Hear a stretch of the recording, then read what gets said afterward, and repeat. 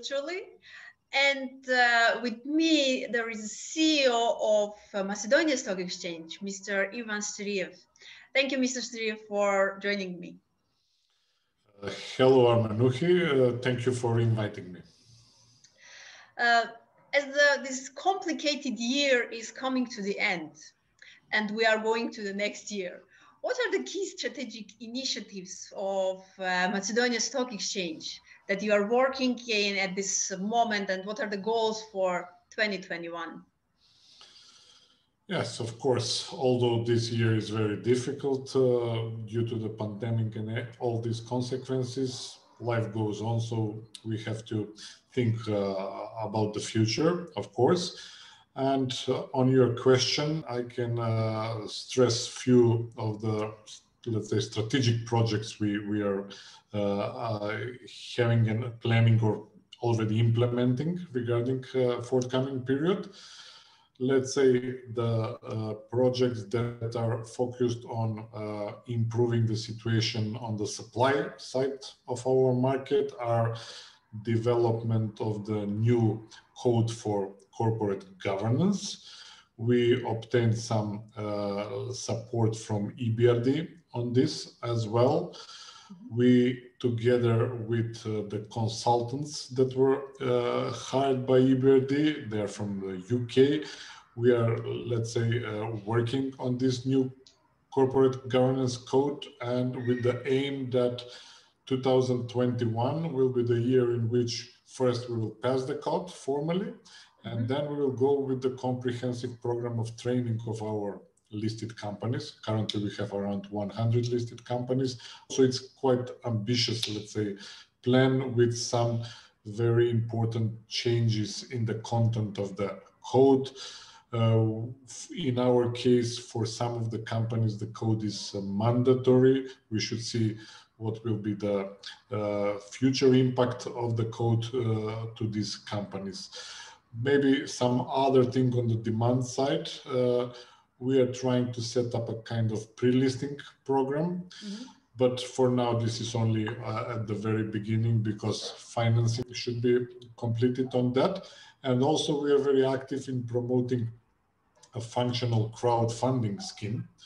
Uh, actually, we are uh, in partnership with Zagreb Stock Exchange uh, because they, together with Estonian company Funderbeam, they uh, have operational scheme and we uh, are trying to find some companies. Of course, there will not be uh, corporations, there, there will be limited liability companies, but we think this is very important uh, for our market on a long term because first we are promoting this uh, financing culture. And also if we are uh, successful, some of these companies on the long term can be candidate for listing as well on the demand side of the market. Strategically, we are, as uh, in all these years uh, uh, behind us, we are very devoted to the regional cooperation, SEE Link company, uh, that is order routing uh, cross-border platform here in Southeast Europe.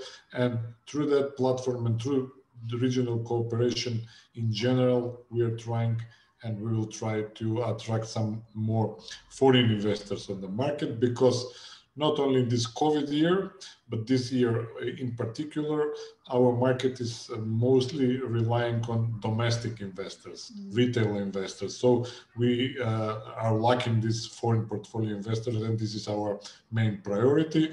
And maybe at the very end about this question, we are also facing next year uh, year in which the complete harmonization of the legislation should take place. So although Macedonia is not EU country, uh, strategically our government decided to go in the full harmonization with the legislation.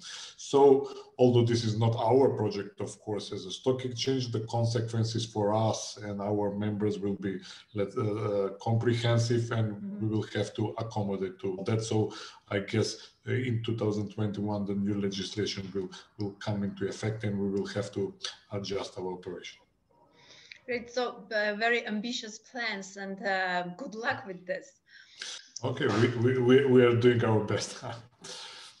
and coming uh, back to, uh, you mentioned EBRD regional cooperation So um, a question about um, one initiative you together with six partners and with EBRD launched this year. It was a listed SME research hub and uh, your exchange is one among one of the partners. What's the first impression and the feedback of this project after uh, five months? Thank you for this question because if we are speaking about this year, one of the main achievements and positive developments uh, were exactly uh, deriving from this project. So uh, we uh, have our three blue chip companies subject of this uh, research project, again supported and financed by EBRD. Uh, the company that is doing this uh, research is Wood Investment. And actually, in our case, as in the past, we did not have, unfortunately, systematic and continuous research of our shares.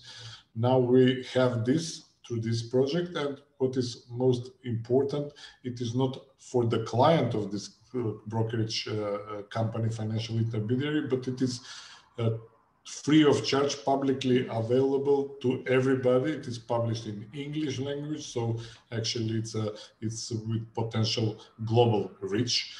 We had uh, uh, inception reports of two of the three companies from Macedonia that are part of the project, one bank and one pharmaceutical company. They were uh, uh made uh, publicly available actually in September and in October, and it was a really very good impact.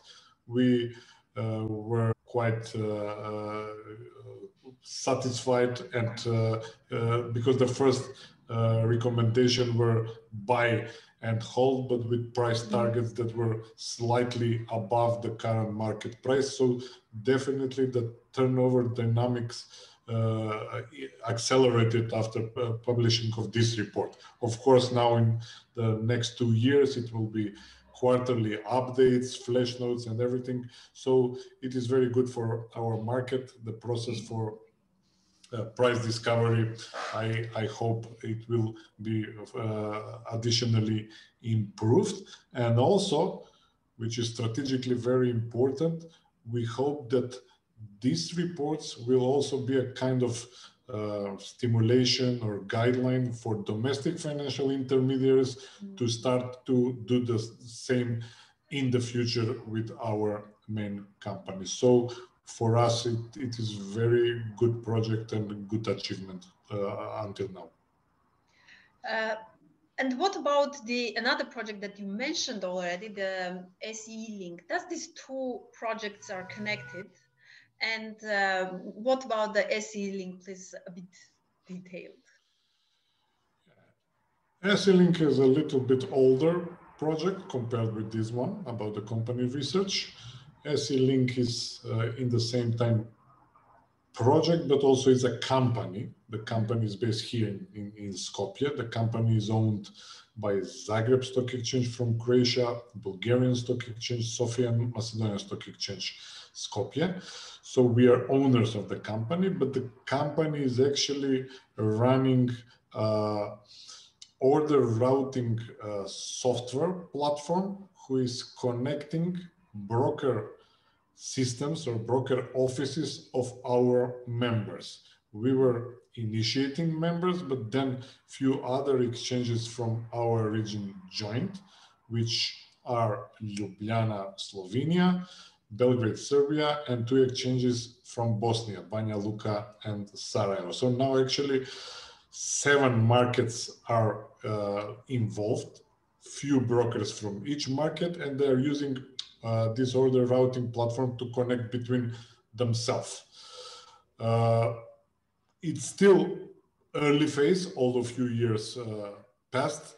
There are many challenges with uh, settlement uh, in particular, sporadic trades through the platform from time to time. But we learned that through this cooperation, which is now not only in words, but it's more tangible. We have company, as I said. Now we can not only uh, work on this order routing platform promotion and development, but also opening other uh, projects in order to uh, strengthen the cooperation. So this research project was in a way add on on this order routing platform. We uh, discussed with EBRD, who is a great uh, supporter of the markets here in the region. And in order to minimize this information asymmetry between the markets, uh, trying to give to, to, brokers and investors additional information about the uh, regional companies. This research project was actually initiated and actually SEE Link and SEE Link website became the main source for dissemination of this uh, company research reports. So there is actually both indirect strategic connection between SEE Link and this project, but also direct connection as we are actually disseminating this report uh, through our website. And uh, the last development is that we will, or EBRD will broaden the scope of the countries which are covered uh, by this research project. SEE Link website will be a dissemination point. And now actually we have some companies from the Baltic countries that are part of the research project and disseminating through our website. So you are growing with all your projects.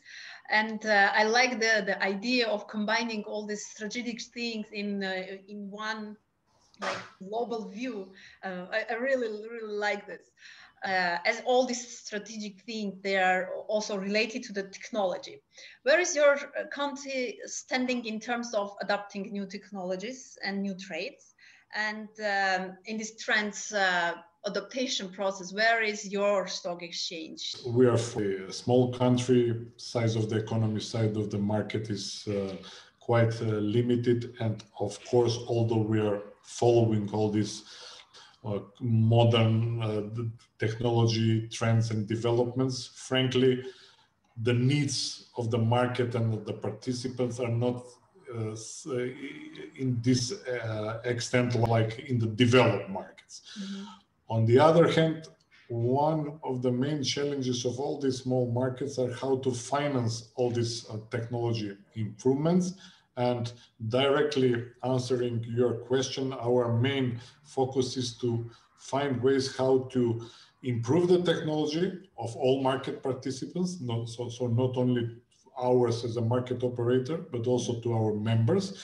And we are trying this uh, in a, uh, to do in a centralized manner. For example, our stock exchange is uh, in the same time main uh, IT provider or software provider to our member firms. So the broker office of our software of our member firm is actually uh, provided by us and we are trying to to add as many features as possible and needed to this market uh, and finance that which is and then uh, reimburse from the from the members so for example the last uh, project that we are considering. It's in a research phase.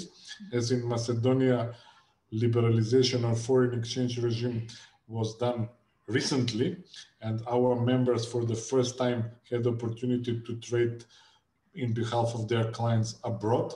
We are now trying to uh, use the uh, position we have as a software provider to our members in order to connect this uh, software with some uh, foreign markets uh, put into this platform market data and execution models, etc. So it is not very unique that stock exchange is supporting its members to trade at other market venues but in our case as this is inevitable process and we are software provider of our brokers we are trying to first assist them and then open for us some new revenue stream uh, great to notice that you are also a, a, provider, like a vendor for, for the whole market, uh, which is which is a trend for stock exchanges now to, to, to become also an uh, technology provider. Good luck with this also. Thank you. It's quite, let's say, challenging and complex job. Yeah, and about other challenges um, of this year, the the challenges of pandemic and we are, we are all facing this how are you keeping the communication with your staff with your members with your partners uh, to make them be positive and to uh, to move forward and to overcome these challenges? Uh, short answer is we changed the manner of communication now. As everywhere everything is virtual via internet via all these platforms. We are trying to have permanent communication with our members both bilaterals but also in a multilateral way from time to time. We uh, organized a kind of uh, workshop via via zoom platform with all directors of our members and we are doing that from time to time. Trying even to uh, reconnect in this new environment brokerage community among themselves. So mm-hmm. more or less these are uh, the the mechanism that not only we as exchange but all exchanges have in this new environment. And also maybe i can share with you this as well. Based on my previous answers we are using our position of uh, software provider because we have also this uh, electronic trading modules for clients, so trading via internet. Mm-hmm. And as it is our software, because of the pandemic, we actually uh, this year are giving that free of charge to the retail investors. And this is very well uh, received from the investor community because with this we are also protecting their health because it is it is uh, let's say uh, home office trading and uh, as this year the turnover is quite okay considering the, uh, overall environment the lost uh, revenue is compensated with with the increase of the turnover and these are very appreciated by our brokers and investors as well. Great. And the last question in your personal opinion, what the life will what life will look like uh, after pandemic, and uh, what are the major challenges that we will face, the humanity will face in the future? It's a very very deep and essential question. First, it will depend whether this pandemic and uh, bettering of situation will be gradual which is most likely, or it will be a kind of sudden positive uh, event or moment. I hope or I assume uh, that it will be gradual because it's more rational to be like that. Uh, so, as consequences from the pandemic, the pandemic will not disappear very fast at one moment. Some of the consequences from the pandemic time will be kind of consequences after the let's say peak of the pandemic. So to be more precise some of the industries like hospitality industry travel and uh, and and uh, and these sort of things they will have their problems and need for adjustment after the peak of the pandemic for sure, as some of these industries are quite interconnected with some other industries, this will affect uh, these uh, businesses as well. That will uh, actually result in change of some habits, both of the consumers and also business people, and it will be interesting process and some of the changes will be irreversible, I suppose. Second, uh, let's say, point that I can stress, which is uh, wide known, is that digitalization, IT aspects of the both of businesses and private lives will will be uh, even even uh, more important.